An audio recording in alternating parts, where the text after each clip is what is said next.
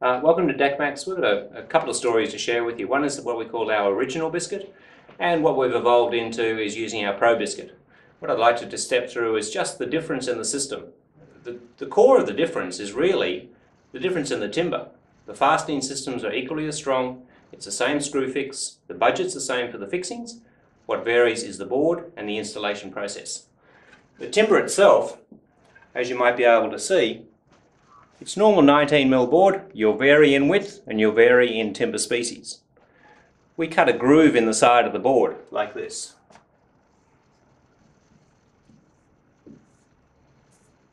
A biscuit cutting tool is a 100mm blade that spins. Let me just get that for you. This is a biscuit cutting tool. It's a standard off the shelf. You can vary how much you wish to spend on it. The blade is actually, it has a controlled depth, how far out of this housing it comes. So that when you actually push and insert it, it actually determines the depth of the cut and the width of the cut on the front. It will leave a cut in the side of the board with a half moon, depending on how deep you've cut it. The depth of the cut, if I was looking at the board from the top view, how deep I cut it from here to here also varies how wide the cut is at the front because it's actually 100 mil. But the biscuit is actually different to that specification except for the arc. It suits a 100 mil blade. The width is 65 mil.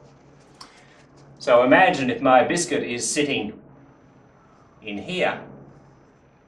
I've cut it wider or I should say deeper, that allows me to move the biscuit to be centered on the joist. If it's not centered, it wants to what we call spoon out. All you do is just put another cut in. So this is actually where the biscuit sits. It has a, a little leg on it, and the biscuit, and the hole, and that's how you get the pressure into the side of the board.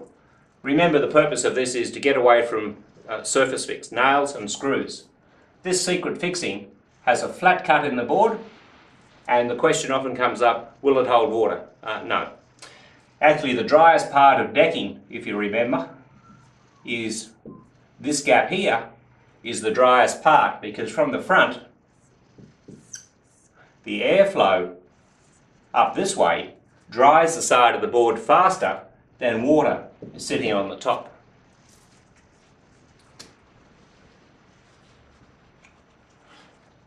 So the biscuit fixing system has a little step in the process and this goes back to just an installation idea. The board will have a groove in the side of it and the biscuit, you insert the biscuit and I'll draw that for you, has a leg on it and it's a T shape. That leg will be flush with the joist material Now, what you do is you actually fasten the screw at probably a 10 degree angle. The screw itself has got a pan head. So when it actually comes down, the pan head, that downward force on the underside of the head of the screw is extremely strong. If you use a countersunk screw, which is terrible, it'll just drive through.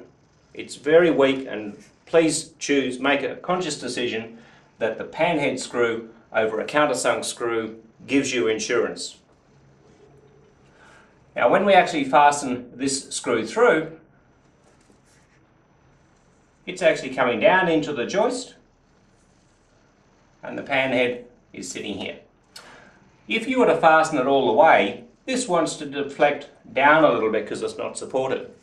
What I'd like you to, to always remember is just leave this up maybe 10 mil it leaves that just to sit because remember I've got another piece of board here coming this way. I need to engage that a little bit.